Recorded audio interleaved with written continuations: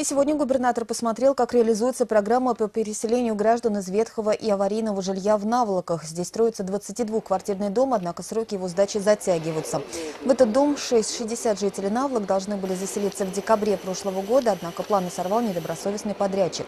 Со своей работой он не справился и не уложился в график. Договор с ним расторгли и заключили новый с другой организации.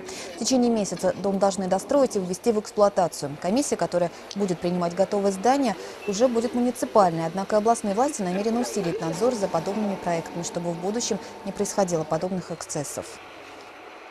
Мы усилим надзор и контроль за этим строительством. Как я уже говорил, мы вышли и поддержали инициативу наших коллег а, с соседних регионов, чтобы данные объекты все-таки включались в надзор за службу строительного надзора, которого на сегодня нет за этими объектами. Потому что площадь меньше полутора тысяч, этажность, соответственно, меньше трех этажей. Мы постараемся это продвинуть и возьмем под контроль все объекты.